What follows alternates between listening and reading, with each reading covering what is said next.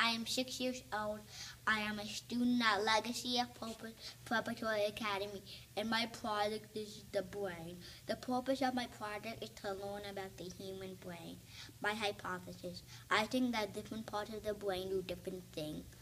The brain is a liquid soft organ that is inside the skull. It is made up of three parts the cerebrum, the, the cerebellum,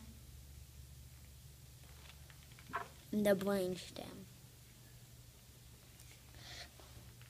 The cerebrum controls conscious thinking and imagination. The cerebellum controls balance. And the brainstem can and the brainstem controls breathing, heartbeat, and blinking a healthy brain.